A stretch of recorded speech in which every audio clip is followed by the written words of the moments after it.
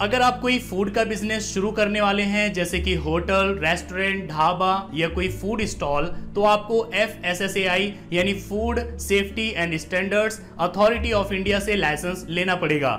ये लाइसेंस निर्धारित करता है कि आप जो भी खाने पीने की चीज़ें बेच रहे हैं, ये मानकों पर खरी उतरती है। ये लाइसेंस लेने के लिए आपको कहीं चक्कर काटने की ज़रूरत नहीं है और ना ही खूब सारे पैसे खर्च करने पड़ेंगे, बल्कि आप अपने मोबाइल फ़ोन से ऑनलाइन भी फसाई लाइसेंस के लिए अप्लाई कर सकते हैं। सो आज के इस वीडियो में मैं आपको फसाई लाइसेंस लेने का पूरा प्रोसेस दिखाने वाला हूँ। तो चलिए शुरू करते हैं।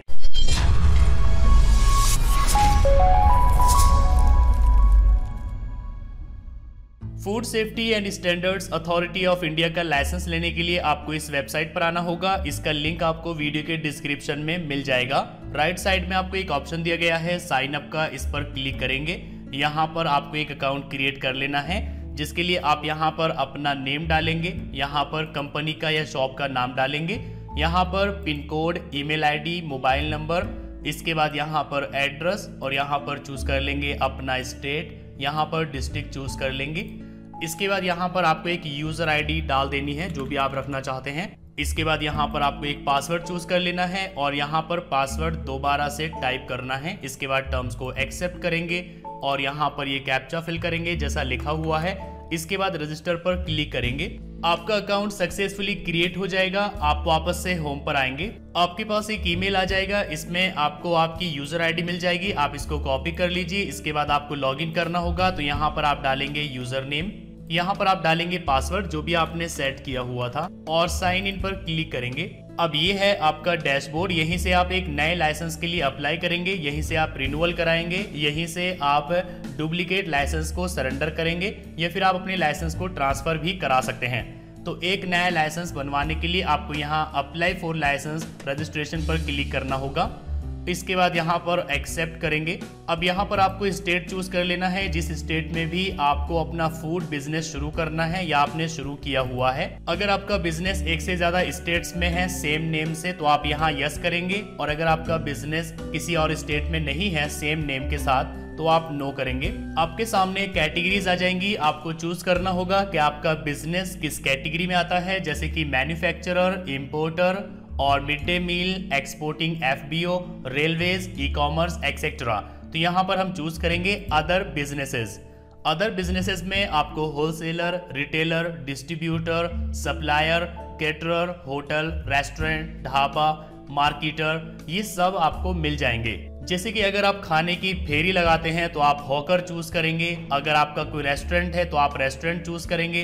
अगर होटल है तो होटल चूज़ करेंगे। और अगर आपका कोई ढाबा है या बैंकेट हॉल है जिसमें फ़ूड कैटरिंग भी अरेंज की जाती है, या फिर होम बेस्ड कैंटीन है, या फिर परमानेंट या टेम्परेरी स्टॉल है फ़ूड स्टॉल है तो आप यहाँ पर ये वाला ऑप्शन चूज़ करेंगे। तो आप अपने हिसाब से यहाँ पर कोई भी एक ऑप्शन चूज़ करेंगे। मान लीजिए कि मेरा एक रेस्टोरेंट है तो रेस्टोरेंट में आपको यहाँ पर कुछ ऑप्शंस दिए गए हैं। जैसे कि अगर आपके रेस्टोरेंट का टर्नओवर है 12 लाख रुपए तक तो आप पहला ऑप्शन चूज़ करेंगे। और अगर 20 करोड़ तक है तो आप दूसरा ऑप्शन चूज़ करेंगे। और अगर आपके रेस्टोरेंट का टर्नओवर है 20 करोड़ रुपए से ज़्यादा तो आप यहाँ पर थर्ड ऑप्शन चूज़ करेंगे। इसके बाद नीचे यहाँ प्रोसीड पर क्लिक करेंगे। Kind of business food business operator restaurant और लाइसेंस कैटेगरी है रजिस्ट्रेशन तो आप यहाँ क्लिक करेंगे अप्लाई करने के लिए। अब यहाँ पर आपको अपना नेम डाल देना है या अपनी शॉप या बिज़नेस का नाम डाल देना है। जैसे कि यहाँ पर मैं डाल देता हूँ ईशान फ़ूड सेंटर डेजिग्नेशन आप चूज़ कर लेंगे। इंडिविजुअल है पार्टनर है प्रोपराइटर है। तो चलिए हम इंडिविजुअल चूज़ करेंगे। इसके बाद नीचे काइंड ऑफ़ बिज़नेस इसमें रेस्टोरेंट हमने चूज़ किया हुआ है। आपको यहाँ पर कोई और चूज़ नहीं करना है। नीचे आ जाइए, आपको यहाँ पर अपने बिज़नेस का एड्रेस डालना होगा। स्टेट यहाँ पर आ गया जो आपने चूज़ किया हुआ था और यहाँ पर आपको एड्रेस डाल देना है। अगर आपका एड्रेस और बिज़नेस का एड्रेस दोनों सेम है तो आप यहाँ यस कर देंगे। ऊपर का एड्रेस नीचे यहाँ पर पेस्ट हो जाएगा। लेकिन अगर आपका एड्रेस अलग है तो आप नो पर क्लिक करेंगे और अपना एड्रेस आपको अलग से यहाँ डालना होगा। इसके बाद नीचे आ जाइए कॉन्टैक्ट डिटेल्स में आपकी ईमेल आईडी और आपका मोबाइल नंबर आ गया है। यहाँ पर कॉन्टैक्ट पर्सन का आप नाम डालेंगे, जिससे कॉन्टैक्ट किया जाएगा। फ़ूड लाइसेंस आपको कितने सालों के लिए चाहिए, आप यहाँ से चूज़ कर लेंगे। मैक्सिमम आप फाइव ईयर्स के लिए ये लाइसेंस ले सकते हैं। चलिए हम चूज़ कर लेते हैं वन ईयर जितने भी टाइम के लिए आप ये लाइसेंस लेंगे, उसके बाद आपको रिन्यूअल कराना होगा। इसके बाद नीचे यहाँ पर आप चूज़ कर लेंगे फ़ूड कैटेगरी कि आपका जो बिज़नेस है रेस्टोरेंट है, वो किस फ़ूड कैटेगरी में आता है। यहाँ पर आपको काफ़ी सारी कैटेगरीज मिल जाएँगी। सेव एंड एड पर क्लिक करेंगे तो आप यहाँ और भी ऐड कर सकते हैं। यहाँ पर आप सेकंड चूज़ कर लीजिए। तो यहाँ पर आप जितने चाहे चूज़ कर सकते हैं। मैंने ऐड कर दिया है bakery products save and add इसके बाद आपको पर्सनल आइडेंटिफिकेशन डिटेल्स के लिए एक आईडी अपलोड करनी होगी तो यहाँ से आप चूज़ कर लेंगे। Aadhaar card, PAN card passport ration card, कोई भी एक डॉक्यूमेंट आप दे सकते हैं। जैसे कि यहाँ पर मैं चूज़ कर लेता हूँ आधार कार्ड। तो अब आपको आधार कार्ड का फ्रंट पेज यहाँ पर अपलोड करना है, जिसमें आप जेपीजी जेपीईजी बीएमपी पीएनजी और जीफ अपलोड कर सकते हैं, जिसका मैक्सिमम फ़ाइल साइज़ 3 एमबी हो सकता है। इसके बाद यहाँ पर आपको एक डिक्लेरेशन फॉर्म अपलोड करना होगा तो यहाँ पर आप हिंदी या इंग्लिश किसी भी लैंग्वेज में डाउनलोड कर लीजिए। ये फॉर्म आपको डाउनलोड करके प्रिंट कर लेना है। इसके बाद यहाँ पर आपको डेट डालनी है, यहाँ पर प्लेस डालनी है और यहाँ पर अपने सिग्नेचर कर देने हैं और नीचे यहाँ पर आपको अपना नेम डाल देना है। इसके बाद आपको ये फॉर्म अपलोड करना होगा। फॉर्म अपलोड करने के लिए आप यहाँ चूज़ फ़ाइल पर क्लिक करेंगे, जहाँ पर भी आपने सिग्नेचर करके रखा हुआ है सिलेक्ट करके ओपन करेंगे। और सेव एंड एड पर क्लिक करेंगे। डिक्लेरेशन फॉर्म अपलोड करना मैंडेटरी है। इसके अलावा अगर आप चाहें तो म्यूनसिपालिटी या पंचायत का एनओसी भी अपलोड कर सकते हैं। नीचे यहाँ पर आपको चूज़ कर लेना है। आपका बिज़नेस कब स्टार्ट हुआ था? अगर बिज़नेस है तो आप यहाँ पर स्टार्ट की डेट डाल देंगे। और अगर कोई सीजनल बिज़नेस है जो सिर्फ़ सीज़न में आप करते हैं तो उसकी डेट आप यहाँ से चूज़ कर लेंगे कि किस महीने से किस महीने तक आपका बिज़नेस चलता है। वाटर सप्लाई का सोर्स क्या है, वो आप यहाँ पर चूज़ कर लेंगे। पब्लिक है प्राइवेट है, या कोई और सोर्स है, जैसे कि हम चूज़ कर लेते हैं प्राइवेट क्या कोई इलेक्ट्रिक पावर यूज़ की जाती है फ़ूड आइटम्स को मैन्युफैक्चर करने में? अगर हाँ तो आप यस करेंगे। और यहाँ पर आपको लोड डालना होगा कि इलेक्ट्रिसिटी का कितना लोड आता है। और अगर इलेक्ट्रिसिटी यूज़ नहीं की जाती है फ़ूड आइटम्स को मैन्युफैक्चर करने में तो आप नो चूज़ करेंगे और सेव एंड नेक्स्ट पर क्लिक करेंगे। अब आपको यहाँ पर फॉर्म ए प्रिंट करना होगा, जो कि आपने अभी फिल किया है, इसी का नाम है फॉर्म ए ये आप यहाँ से प्रिंट पर क्लिक करके डाउनलोड करेंगे। अभी यहाँ पर पॉपअप ब्लॉक्ड है तो इसको हम अलाउ कर देंगे। और फिर से यहाँ पर प्रिंट फॉर्म ए पर क्लिक करेंगे तो आपका ये फॉर्म ए आपके सामने आ जाएगा। ये है फॉर्म ए ये आपको प्रिंट करना होगा। प्रिंट करने के लिए आप यहाँ प्रिंट आइकन पर क्लिक करेंगे और आपके पास जो भी प्रिंटर है, उससे आप प्रिंट कर सकते हैं या आप अपने आसपास की किसी शॉप पर जाकर के प्रिंट कराएँगे। प्रिंट करने के बाद आपको यहाँ पर अपने सिग्नेचर करने हैं। यहाँ पर प्लेस और डेट डालनी है। इसके बाद आपको यहाँ पर ये फॉर्म अपलोड करना होगा। चूज़ फ़ाइल पर क्लिक करेंगे। जहाँ पर भी फॉर्म रखा हुआ है सिलेक्ट करके ओपन करेंगे और अपलोड पर क्लिक करेंगे, ये अपलोड हो जाएगा।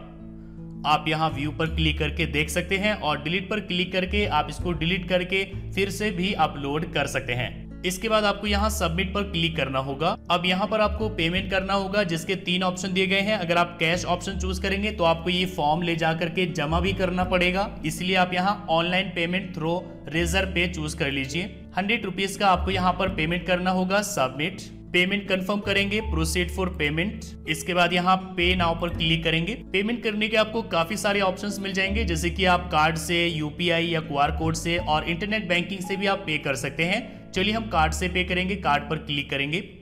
यहाँ पर आपको कार्ड नंबर डालना है एक्सपायरी मंथ और ईयर डालना है। यहाँ पर कार्ड होल्डर का नेम डालेंगे और यहाँ पर सीवीवी डालेंगे। रिमेंबर कार्ड है, इसको आप अनचेक करेंगे और पे पर क्लिक करेंगे।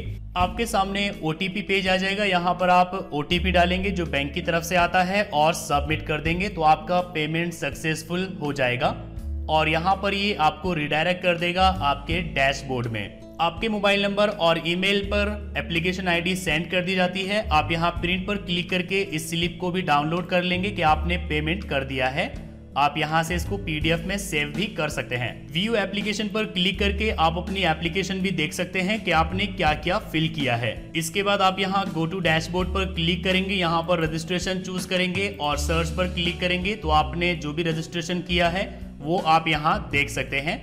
और यहाँ पर आप इसका स्टेटस भी देख सकते हैं एप्लीकेशन प्रोसेस में है। जैसे ही आपकी एप्लीकेशन अप्रूव हो जाएगी तो आपका लाइसेंस नंबर यहाँ शो होगा और इश्यू डेट यहाँ पर आ जाएगी और कब से कब तक वैलिड रहेगा, ये यहाँ पर आ जाएगा। और व्यू पर क्लिक करके आप अपना सर्टिफिकेट यहीं से डाउनलोड कर सकते हैं। इसके अलावा आप यहाँ वेबसाइट पर आएँगे, यहाँ पर रेफरेंस नंबर डालेंगे कैप्चा फिल करेंगे और गो पर क्लिक करेंगे। तब भी आपके सामने स्टेटस आ जाएगा। इसमें आप देख सकते हैं एप्लीकेशन ऑनलाइन सबमिट हो चुकी है।